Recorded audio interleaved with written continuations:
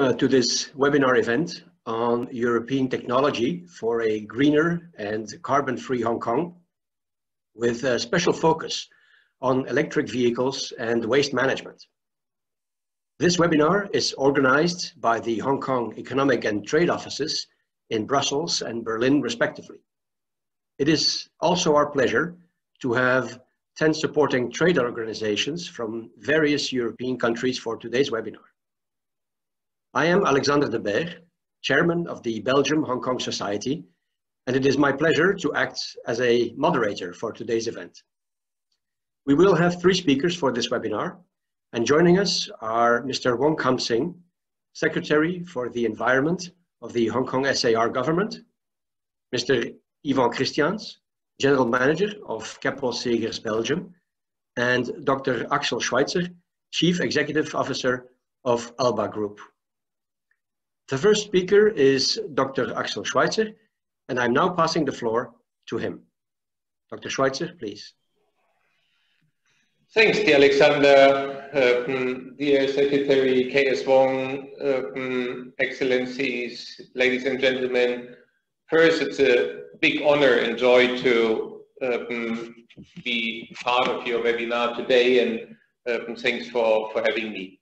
Um, may I start with the introduction of my company, the Alba Group, and let's go to the next slide already to present the opportunities for resource management in Hong Kong. And first, uh, so you know who's Alba, what is what is Alba? Uh, we're actually part of the worldwide uh, top 10 companies in the field of waste management. Um, we are family owned. Um, we have a history of more than 50 years. Um, we have a great team and we've started in Europe, especially or uh, particularly in Berlin. And our DNA is recycling. That's why humbly we call ourselves the recycling company. And I always like to say that because if you look at all the, the website of the big companies, they all look a little bit the same or similar. Um, actually, one of the big criteria where we think we are a little bit different is uh, because of our recycling DNA. Why do we think so? Because um, especially my parents already started as the pioneers um, at the beginning of the 70s in Berlin, the professional recycling and um, later what they start is the separate collection became the dual system, the green dot system and went viral um, all over the world. Um, I'm actually located in Hong Kong, um, so and this since about uh, now almost eight years. Uh, why?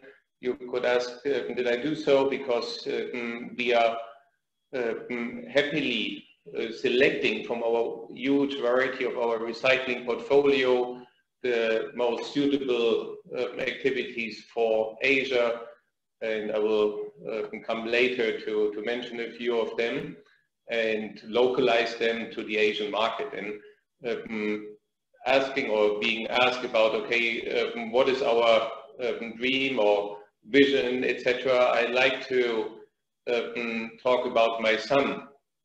Uh, I have three children, and uh, when we moved to Hong Kong, the oldest one was about five years old, and he remembered from Berlin about seven recycling bins in front of our complex, and uh, he asked me, coming to Hong Kong, Papa, where are the recycling bins in Hong Kong? And I said, ah, maybe there are not so many. And, and then he said, said uh, at least at this time, the famous word what had a big impact on me. He said, Papa, you need to change that. And that is something what I really like because as adults we seem to uh, think in difficulties, challenges, and I like the, the idea that kids just think, okay, if you can think about, if you can think it, then let's try and do it. Obviously, we are not successful with everything we do, but um, at least we are trying. And this brings us uh, to um, probably also what uh, Secretary KS is referring later to, and we are very happy that um, Hong Kong um, just recently um, published the waste blueprint for Hong Kong to set out the direction for 2035 and Dear KS, I would like to congratulate you for uh, this blueprint, for what especially you and your team have done. I think that's going exactly in the right direction in, in the fields of enhancing collection and separation. I will talk about it as later as well. Resource circulation and promoting innovative technologies to enhance efficiency.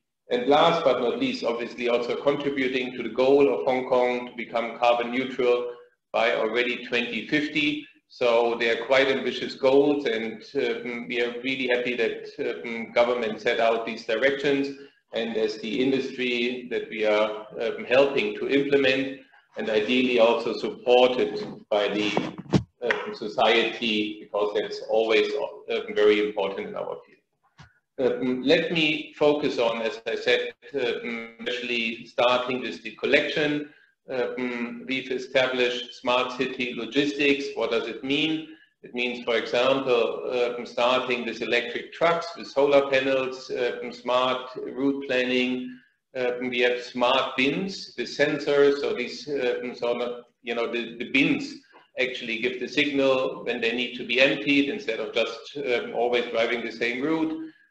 we have smart and I also think pretty cool AI solutions um, using also the optic sensors by analyzing the waste so we can improve um, again the recycling.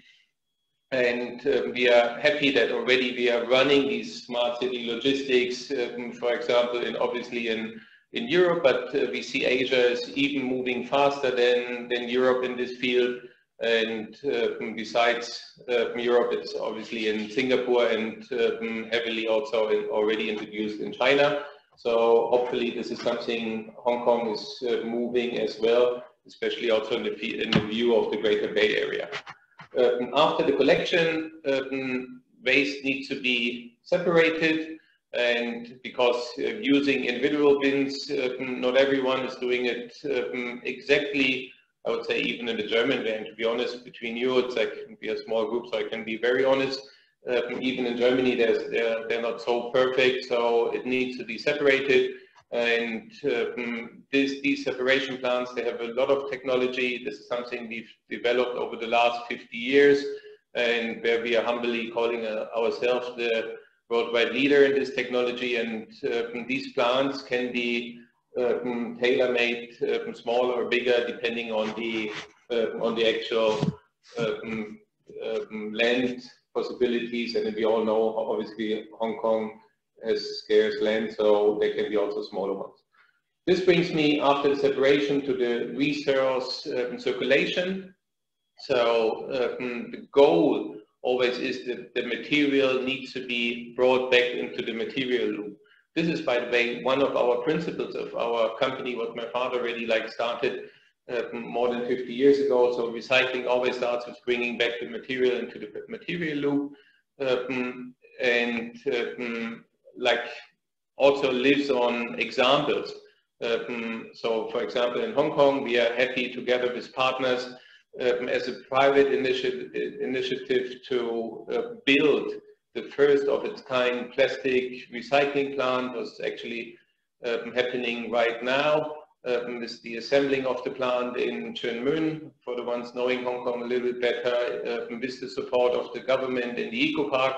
So we are very happy um, that we can help hopefully setting the example and um, also hoping that um, government is as done in the example I show you after this one, introducing the producer responsibility scheme, because this is the secret and the key why Germany became the worldwide leader in recycling because of producer responsibility scheme. What does it mean? This means like if uh, producers bringing, uh, for example, their products into the markets or the packaging, uh, then um, they are also responsible for the recycling. And that's um, a really important step.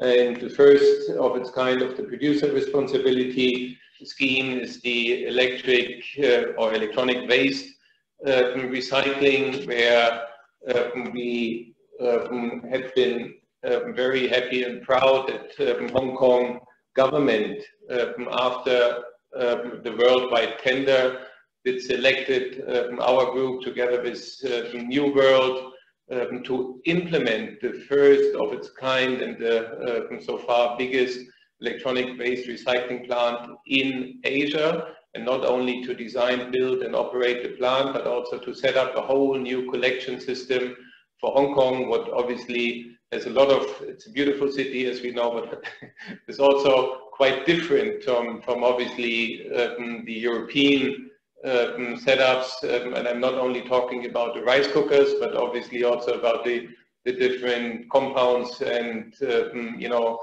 uh, collecting washing machines from, I don't know, 45th floor is a little bit different than to the, to the small houses in, in Europe. So um, no fear, I won't uh, now talk you through the whole layout. So just to give you an overview, obviously it's, um, at least I think it's quite impressive. Um, as I said, it's um, initiated by the government and I think this is a great example um, what Hong Kong or where Hong Kong has shown that introducing producer responsibility system does have a big effect and is uh, boosting recycling in Hong Kong and also acts as or stands as a, a role model for other solutions in Asia. And um, for example, um, only like a few weeks ago, um, we had been selected by the um, city or country of Singapore to implement the produ producer responsibility system for Singapore um, by uh, and Singapore had a lot of exchange to Hong Kong. Why is that so important? Because at the end of the day, as I mentioned, it's about um, bringing um, recyclables back into the market. And um, over um, the last uh, more than four years um, operating this plant, we have been able to bring 55,000 tons of recyclables back into the loop. We are really proud of that because that material would have been lost or, you know, dumped or um, you know, whatever. And this means that uh, we have a recycling rate of more than 87%. Um, what we think is already pretty good, but um, at the same time working on still we want or our own goal is to increase this of about more than 90%. Um, and so we are working on this and um, as you can see this includes the copper, the aluminium, uh, the iron, and last but not least, the plastics. So I'm very happy to share this experience with you and um, also happy to answer your questions now or later. Alexander, it's up to you. Uh, thank you, Dr. Schweitzer, uh, for your presentation and uh, congratulations uh, with uh, the achievements uh, made so far. they are very impressive. Um, we will keep the questions for after the um, presentations. So um, please allow me now to uh, give the floor to uh, Yvan Christians, uh, General Manager of Keppel Seghers uh, Belgium. Mr. Christians, the floor is yours. Yes, dear Alexander, dear Secretary K.S. Wong, and dear organizers of this event, thank you. I have the pleasure to introduce you to Hong Kong's first integrated waste management system, a facility which is currently under construction the technology for this plant will be provided by our company, Keppel Seghers. Next slide. Keppel Seghers is the environmental division of Keppel Infrastructure. We are part of Keppel Corporation, which is a company listed on the Singapore Stock Exchange. We are a global leader in environmental systems and urban solutions. Our company, Keppel Seghers Belgium, is located near Brussels in an old beer brewery. We are highly specialized in the development of waste energy technology. Next slide. Hong Kong has a population of 7.3 million people. It is one of the most densely populated cities in the world and with limited land available. In 2019, Hong Kong was producing 5.7 million tons of waste per year. About 80% of this, 3.9 million tons, has been sent to one of the three existing landfills. Next slide. So the objective of this of the Hong Kong's first integrated waste management facility is to reduce to substantially reduce the amount of waste going to the landfill and also to increase and stimulate recovery of useful resources. The integrated waste management facilities consist of two, uh, of two plants, two facilities. The first one is a waste to energy plant with a capacity of 3,000 tons per day. The second is a mechanical sorting and resources recovery facility of 200 tons per day for demonstration purpose. Altogether, the two facilities will be able to treat more than 1 million tons of waste per year. Next slide.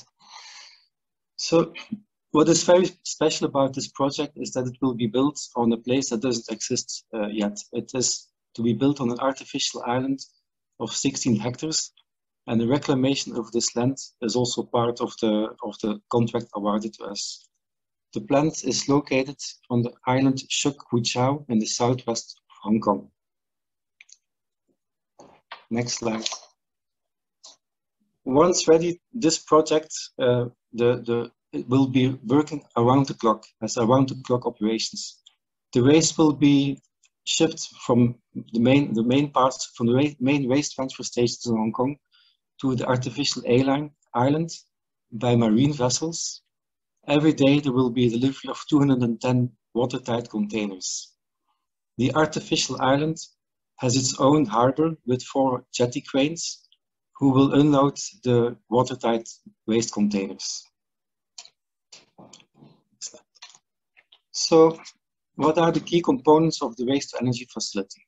Because waste has to be treated, will be treated 24 hours a day, 365 days a year, and the waste delivery is only during the days, there will be a large waste bunker for sufficient storage of, of the waste. The heart of the plant is the grate incinerator, where combustion is taking place at a high temperature, up to 1000 degrees. During the combustion, there is a release of energy, and this energy will be transferred into steam in high, uh, in a high steam pressure boiler. The steam then is sent to the turbine for production of electricity. The waste contains some contaminants, and all the contaminants will be removed in a very advanced flue gas cleaning system.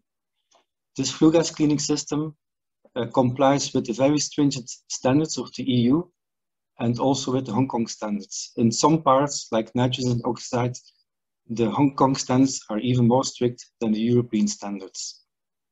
The clean flue gases will then be emitted into the stack, which has a height of 150 meters. The incineration will result in a volume reduction of 90% and the residue is bottom ashes. Metal, ferro, ferrous metals will then be recovered from uh, the bottom ashes. Next slide. So what are some of the key environmental features of this integrated waste management facility? It will be producing 480 million kilowatt hours of electricity, which can be exported to the grid. This is the equivalent to about 1% of the electricity production in Hong Kong, and it is sufficient to power 100,000 households. This plant allows to uh, avoid an estimated 440,000 tons per year of greenhouse gases. And it allows to recycle uh, ferrous metals, plastics, glass, and other available materials. The project will have its own desalination plant so that it can be completely self-sufficient. And it also has its own wastewater treatment plant so that there will be a zero waste, a zero water discharge in the, into the surrounding. From the architectural point of view, it has a very extensive greening so that it nicely blends in with the, with the surroundings. Next slide. An important aspect of the plant also is to are the environmental education facilities. There will a visitor center. There will be an extensive visitor center um, to drive towards a greener Hong Kong. There will be guided tours for the visitors, and there will also various services between the plants and uh, between this phase one plant and Central and Cheung Chau. So hopefully someday we will all have the chance to visit this plant. Next slide. Maybe a few details on the contract itself.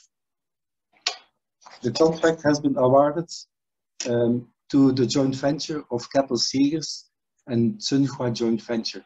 Zhen Hua is part of China Harbor, which is one of the largest, uh, which is the largest dredging company in the world. And of course, their scope is important as they're responsible for the land reclamation.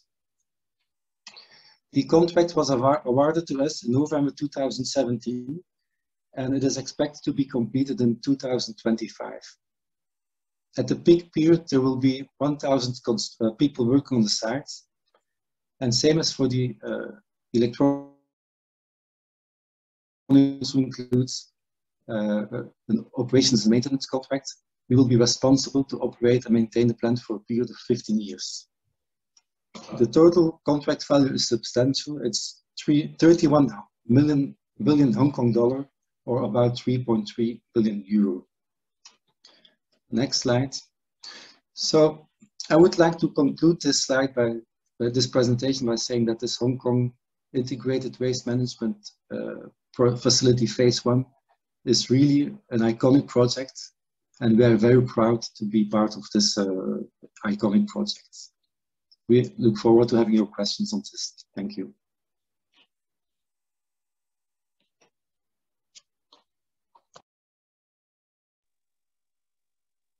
Uh, thank you, uh, Mr. Christians, uh, for your presentation and uh, congratulations also with uh, this project. Um, and I also look forward in the future uh, visiting the facilities and seeing with my own eyes what what Keppel has has achieved there. Um, before I give the floor to um, Secretary Wong, may I invite all participants to this webinar to send your questions through the chat box uh, and we will come to them after the last presentation, which is uh, of uh, Secretary Wong, um, Secretary for the Environment of the Hong Kong SAR government. Secretary Wong, the floor is yours. Okay, thank you everyone to join this uh, uh, seminar. Uh, firstly, I would like to say thank you to our friends from Germany and Belgium to help Hong Kong to build waste to resources and waste to energy facilities that can help Hong Kong to catch up to reduce waste and also to improve renewable energy towards our carbon neutrality goal just announced uh, earlier. So I will have a PowerPoint presentation uh, to update you about what we are doing about uh, climate actions, uh, about electric vehicles, and also about waste management. The title today is Greener and Carbon Neutral Hong Kong. Uh, last November, the chief executive in her policy address announced that Hong Kong would go towards carbon neutrality before 2050. In Asia, Hong Kong is one of the few leading cities with such pledge towards carbon neutrality. We'd like to be a leading green city in Asia. Certainly, we need the support from other places, including European unions uh, to make the best use of technologies to go towards carbon neutrality in Hong Kong.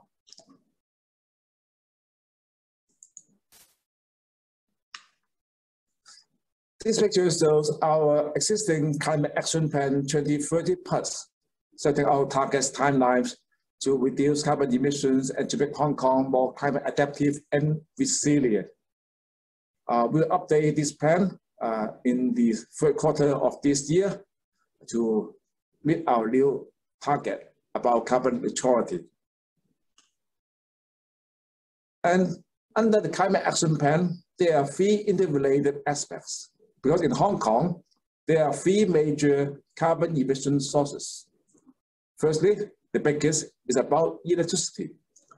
Second, about 20% is related to transportation in particular vehicular emissions. Third is about waste reduction. We just set a number of zero targets. Firstly, as mentioned last November, we will go towards carbon neutrality or zero carbon emissions by or before 2050. And electricity emissions to go towards zero carbon sources be one of the major challenges. Second is just announced um, very recently is about the EV popularization roadmap. we announced that before 2050, Hong Kong will go towards zero vehicular emissions to tie in with the carbon neutrality goal.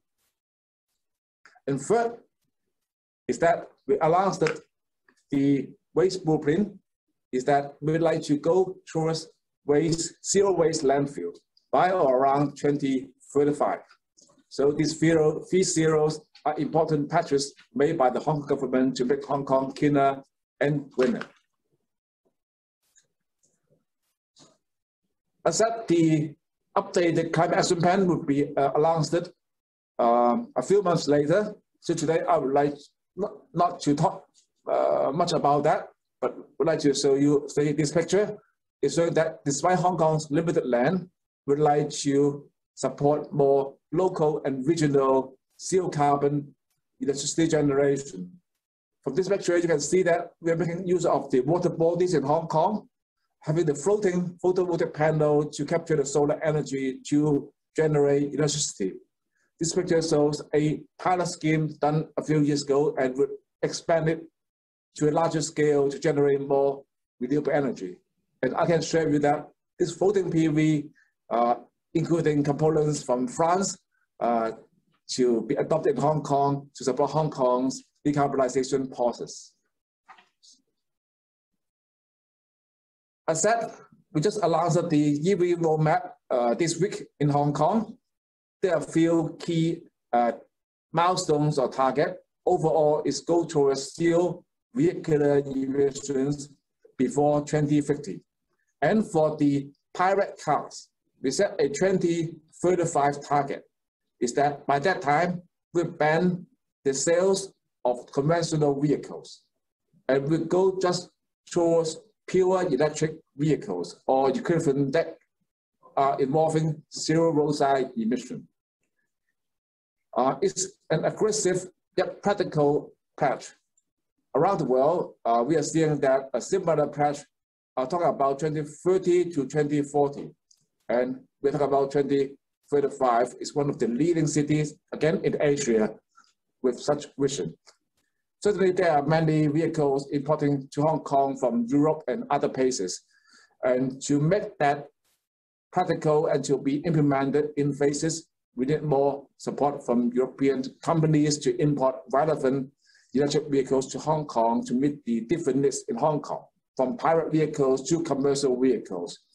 And in the coming five years, we are going to test out uh, uh, different types of uh, commercial and transport uh, vehicles including single-deck buses, double-decker buses, uh, minibuses, taxi, lorries, and even motorcycles. So we see the business opportunities in the coming years and decades. Um, in Hong Kong, in fact, the popularization of electric vehicle is in fact uh, pretty encouraging in recent years. Uh, this picture shows the latest figure last year, that means 2020, one out of every eight cars newly uh, registered in Hong Kong, one was electric vehicle. That means about 20.5%.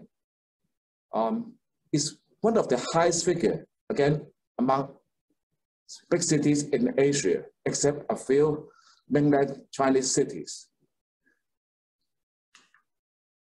Accept 2035 is the deadline to cease the new registration of conventional pirate cars in Hong Kong.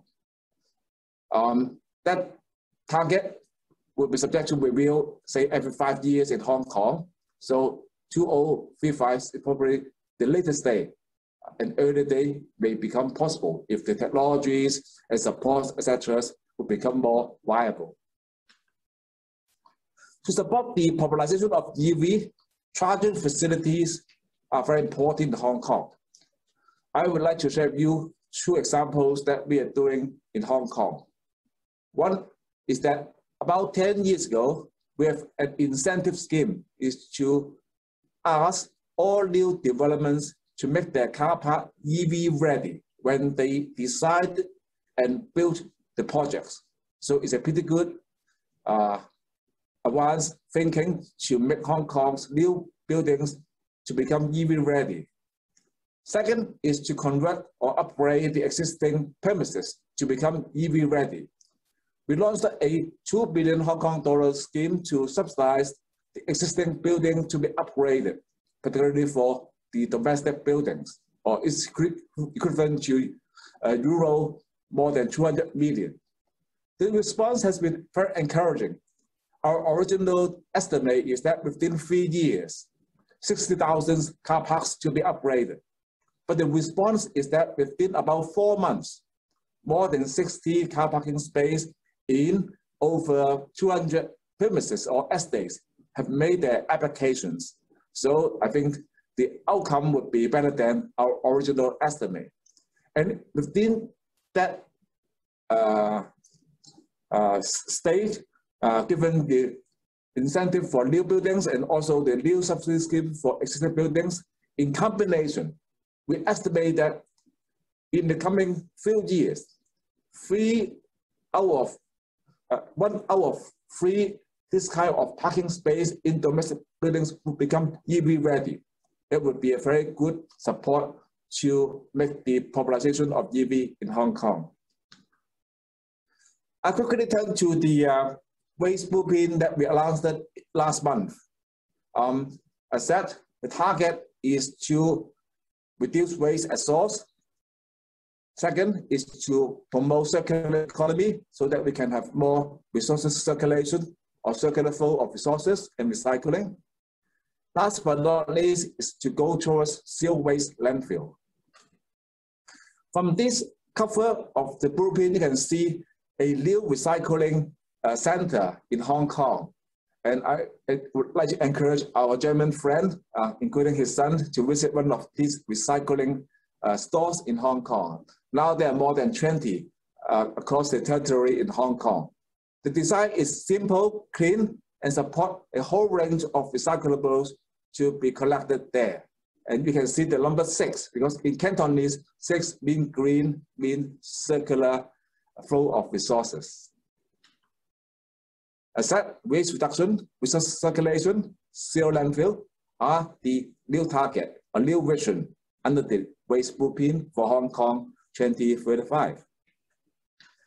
I'm not going to go into details of the blueprints, the blueprints, uh, the full version, and, and also the uh, leaflet uh, available online. Uh, it tells people about the vision, the targets, what we've been doing in the last eight years, including policies, uh, producer responsibility schemes, and also hardwares, including the I-Park uh, that uh, you heard about uh, earlier, and also O is on food waste recycling, and also Y on yak waste, and also T-Park uh, built earlier to treat the sewage sludge into energy. And also would like to have new policies and hardwares in the forthcoming time so that we can meet the zero waste landfill vision. Picture shows the interiors of the recycling stores that we just launched in the recent months.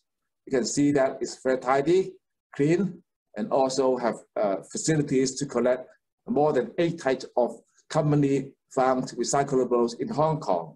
And there are also incentive scheme that if you're going to uh, put recyclables at the recycling stores, that you can collect uh, uh, points, and in return, you can get some rewards. This picture shows one of the waste to energy facilities in Hong Kong called T-Park. And in order to meet our new vision and new target, we need more of this kind of waste to energy facilities and also waste to resources facility in Hong Kong. And I trust the European friends and companies would be interested in joining Hong Kong in this journey towards zero waste landfill. And in the past, say, decade, uh, we calculated our investment uh, in relation to renewable energy, energy saving and green building, uh, green mobility, and also uh, waste, management, waste management facilities, a total of about Hong Kong dollars 47 billions or equivalent to euro 5 billion uh, invested in this kind of green, uh, low carbon facilities. And it indicates that in the coming time, when we are setting even more aggressive targets and visions, the investment would be comparable or even more than that. And in our recent budget announcement, we have uh, increased our green bond initiative so that we can see that um, we would have financial support to make Hong Kong cleaner and greener. So welcome to Hong Kong uh, to visit the carbon neutral Hong Kong and let's join hands to go through the carbon neutrality journey in Hong Kong, in Greater Bay Area, Asia to make the earth better. Thank you.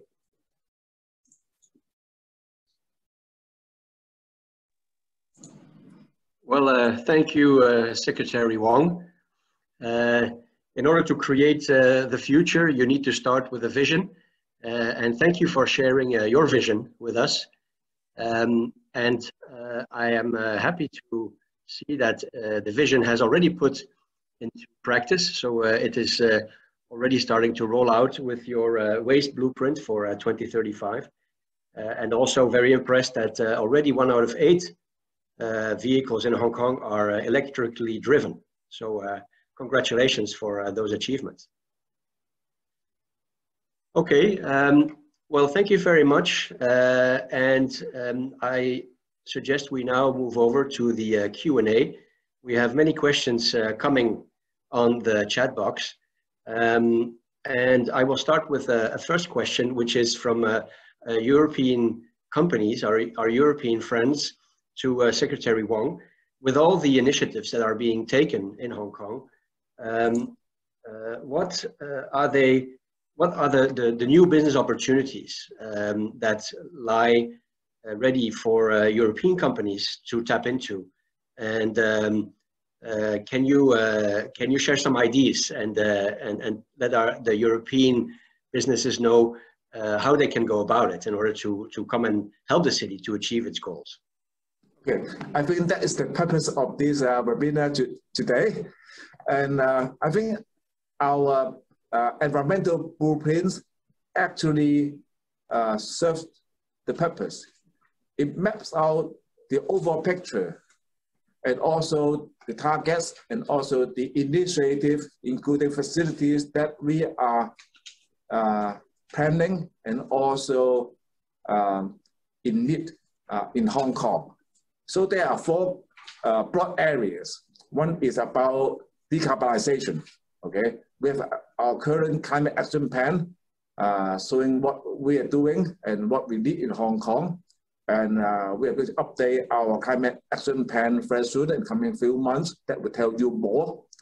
Second is about the clean air plan that I haven't mentioned. Probably in, again, uh, a few months later, we'll update our clean air plan in Hong Kong that would tell um, our friends what we're going to do about uh, improving the air quality in Hong Kong. That would involve, on one hand, phasing out the old conventional vehicles. For instance, we have been phasing out um, tens of thousands of old diesel commercial vehicles in the past few years and in the coming years. So European cleaner uh, diesel commercial vehicles would be in need uh, around that time and the new Kinepan will tell you more. And not only cars, but also ships in Hong Kong. Because in Hong Kong, the biggest local emissions are no longer about cars, but from the marine emissions. So in Hong Kong, we are having different schemes to use new energy vessels. For instance, for the Victoria Harbour's ferries, where we have a plan to make a pilot scheme that there are few pure electric ferries traveling in Victoria Harbour. And for the longer journeys outlying islands, we're going for hybrid ferries. So I think European experience on the new energy ferries, ferries would be relevant to Hong Kong. Third is about the, uh, the EV popularization. I think uh, Hong Kong people love uh, uh, uh, different brands of cars and many of the brands are from Europe. In fact, I met uh, some of the European uh, motor companies represented in Hong Kong, and uh, we are all talking about uh, introducing more uh, new energy uh, vehicles, in particular electric vehicles to Hong Kong. Um, certainly, um, not only about cars, but also the charging infrastructure will be important. In fact, the EV roadmap indicates that we would like to make Hong Kong's EV charging infrastructure to become marketized uh, in the coming years. So that I think different companies with experience in providing EV charging networks would be of edge to help Hong Kong to make the EV charging facilities more accessible. Last but not least is about the waste blueprint. I think our friends from Germany and Belgium should have uh, shared with uh, our European friends about their local experience. And as indicated in the blueprint, in order to go towards zero waste landfill, we need more waste to energy and waste to resources facilities in Hong Kong to meet our goal. I think these four aspects need our friends' attention. Thank you. Thank you, uh, Secretary Wong. Um, an interesting question uh, to uh, Dr. Schweitzer. Um, it's actually a double question. Uh, first one, which is the most difficult material to recycle? Um, and secondly, um, the recycled plastics, is it used locally or is it uh, shipped to other countries as manufacturing materials?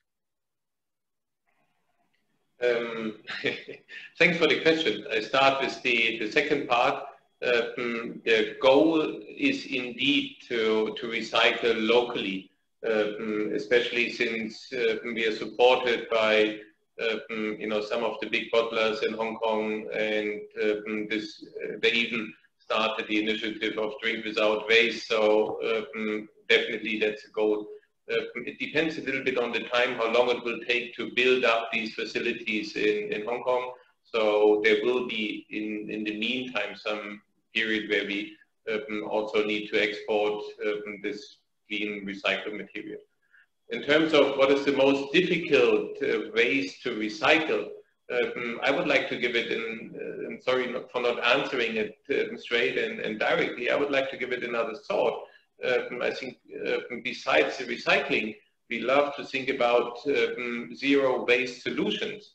What does this mean? It's like by creating already products, we have in mind how we can reuse this product as a product um, and only what can't be used as a product then should go into the recycling, etc. So um, by um, having more that, um, you know, also from um, more well known under the, the, name of the cradle to cradle, mean like the product should be, again, like the, the, start of the, the cycle.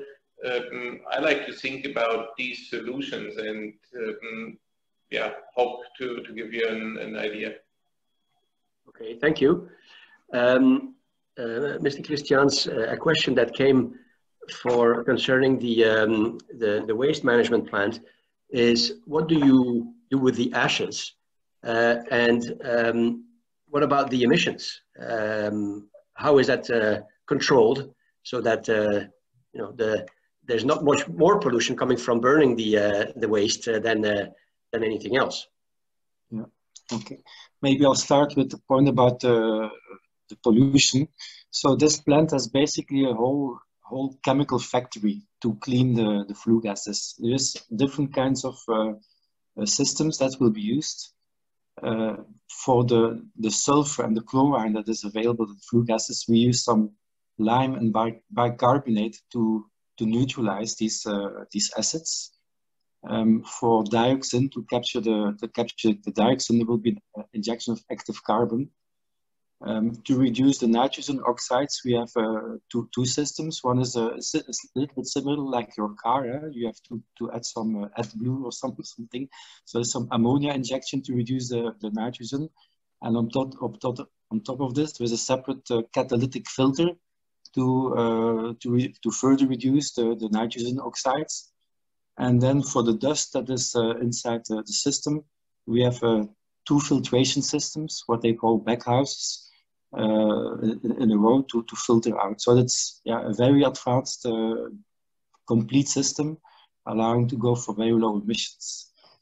As for the bottom ashes, um, yeah, the bottom ashes, it still represents about 10% in terms of uh, volume. And now this plant will be taking out uh, steel, uh, fer ferrous metals. Um, but in the meantime, there's also, let's say, developments in the market about how to, there are possibilities to, to go one step further, to take out non-ferro, non-ferro metals, even to take out gold, silver, and all kinds of precious metals inside. But that kind of, let's say, advanced or next step level of treatment may be something maybe for the future. Okay, thank you, um, Mr. Christians. Um, Secretary Wong, um, you said in your presentation that um, the majority of uh, uh, pollution um, in Hong Kong came from the production of electricity. Um, and of course, with all these electric vehicles uh, uh, coming in the, to the city and your ambitious plan to, to grow that number, um, how will you uh, manage to produce enough electricity in a clean way um, in order so that uh, these vehicles can drive around and yet you not have more pollution into the city? Okay, uh, it's a good question. Uh, I think you're talking about the carbon footprint. In Hong Kong currently, uh, electricity accounts for uh, more than two-thirds of Hong Kong's carbon uh, emissions, while uh, transportation accounts for about 20%, okay? Um, the power generation could be, say, having more opportunity to go towards no or even zero carbon emissions with the use of the best technologies. So that would be one of the key strategy to firstly clean up the power supply.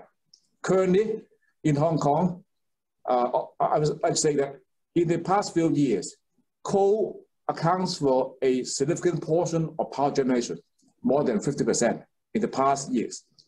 But this year, we've been already reducing the coal portion to some 20%. And then we'll probably phase down or even phase out all the coal portion in the coming decade. So the power generation will be much cleaner in terms of air quality and also in terms of carbon emissions. And we have we would devise a plan to go towards zero carbon emissions in order to meet our carbon neutrality carbon neutrality goal in the coming three decades. So that would be a very good infrastructure to enable or to support the electrification of vehicles so that we can also have the uh, zero, carb, zero, zero vehicular emissions in the coming time. So it has to go together to clean up the power supply and also to go towards new energy vehicles so that we can enjoy cleaner air and also go towards carbon neutral Hong Kong. Okay, thank you. Um, uh, Secretary Wong, um, uh, are there any other incentives that the uh, Hong Kong government um, has in order to promote electrical vehicles? Um, for example, the tax, vehicle tax, uh, um, as uh, as of course uh, cars are uh, very highly taxed in, in Hong Kong. Okay, again, very good question. I think the last year's record, one EV out of every eight new pilot vehicles uh, indicates that uh, our current uh, tax incentive has been working reasonably good, right? Otherwise, it won't be having such a high ratio among all the cities in Asia. And in our recent budget, in fact, we have further increased the first registration taxation by certain percentage to make it uh, up to about Hong Kong dollar 287.5 thousand. It's pretty good. For the average priced private cars, it means 100% waive of the registration fee uh, or tax. So it's pretty uh, attractive for the people because in order to make the popularization of EV would like to encourage more affordable model of EV to be available in Hong Kong with very encouraging taxation. And also, the annual licensing tax for electric vehicles is much better than that for conventional vehicles. So for the initial taxation and also for the recurring taxations, both are favoring the use of electric vehicles. And the electricity tariff in Hong Kong is relatively uh, affordable. So if people are driving EV, they say the fuel cost for the EV is much, much better than driving a conventional petrol car. So it would be very attractive. And as said, our subsidy scheme to help the uh, domestic estates to upgrade the existing car park, again, a very attractive subsidy scheme. Every parking space can enjoy up to 30,000 Hong Kong dollars upgrade fee if they need uh, the trunking, the upgrade of the power supplies. So there are different means to give incentive for people to change to electric vehicle if they are going to replace their old one. Thank you. Okay, thank you. Uh, Dr. Schweitzer, um, a question for you. Um, uh, can you share with us um, some of the new technologies that uh, your company has brought in um, to enable a, a more efficient um, waste separation and recycling? Um, and, uh, and maybe a, a pre-question, I, I, understood you have been in Hong Kong for eight years now. Uh, how easy or how difficult was it to set up uh, uh, your company and start rolling out uh, your um, your solutions for Hong Kong? Yeah. Um, no, thanks for for the question, Alexander. The um, also the again the, the second part. Um, it's always you know as the the leader in recycling so people trust and government obviously trust that we understand a little bit about recycling. And obviously at that time, um, all our plants had been in Europe.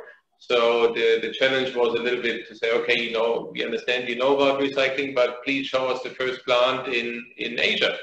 So it's a little bit like the, the chicken and egg. And so that's why we have been so happy and proud that uh, Hong Kong government, after that worldwide tender, selected us in and trusted us in implementing this electronic-based recycling plant in Hong Kong.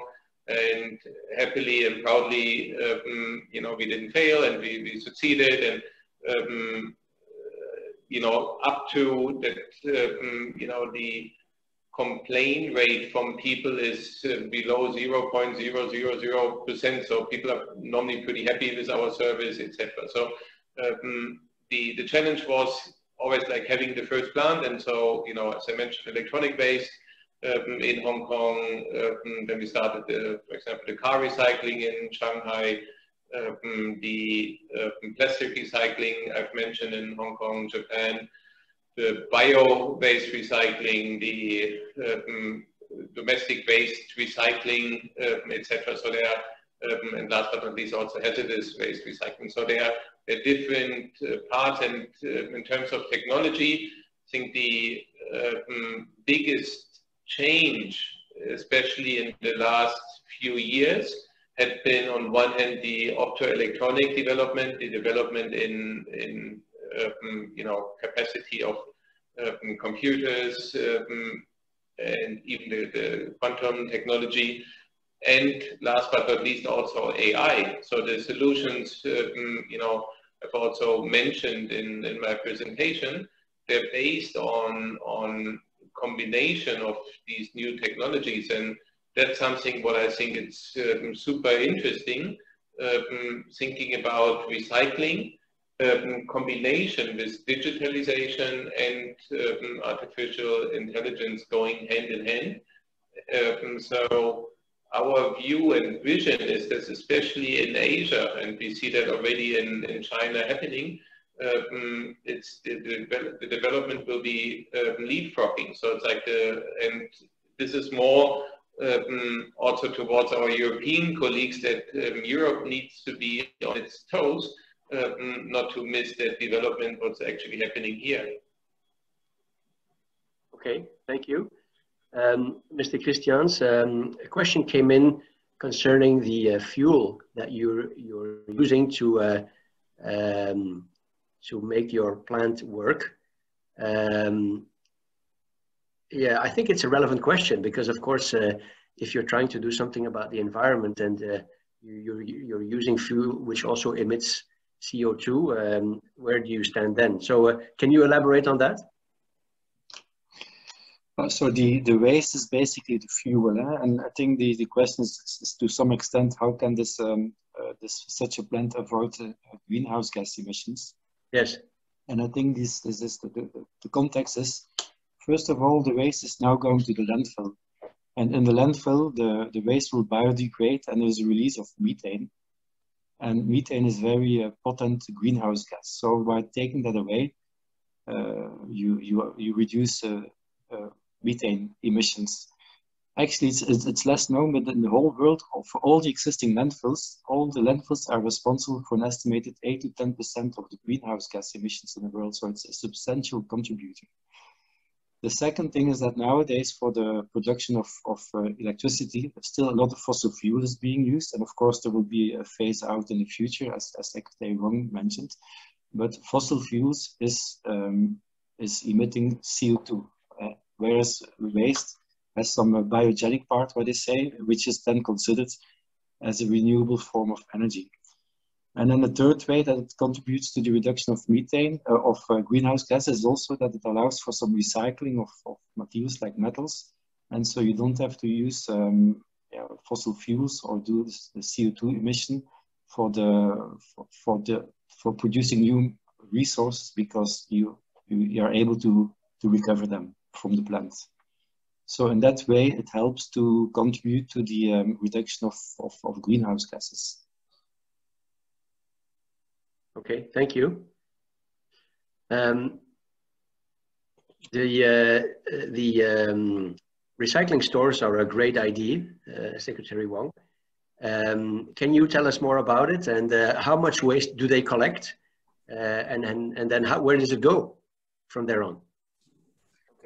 The uh, recycling stores have, have just been little opened for a few months. So the data uh, should be uh, analyzed uh, in the coming time. But the response has been really encouraging. People like it, okay?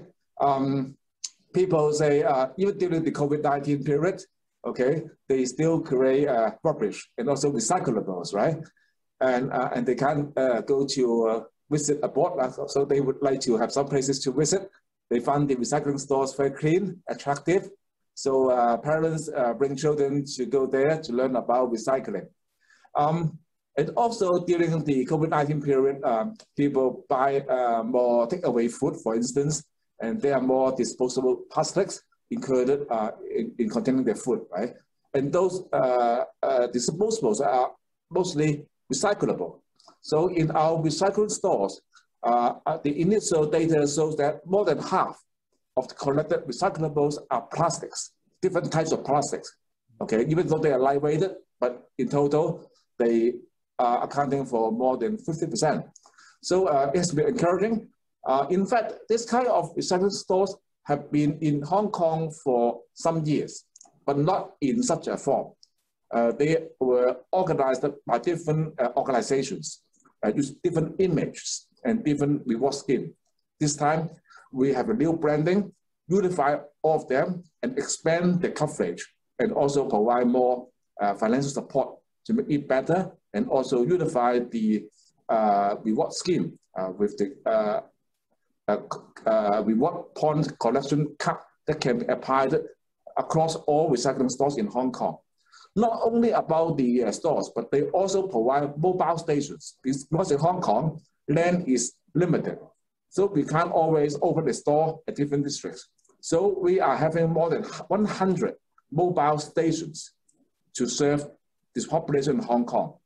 So together, they are collecting much more recyclables than the earlier version, more than double, uh, given the past experience in the last few months.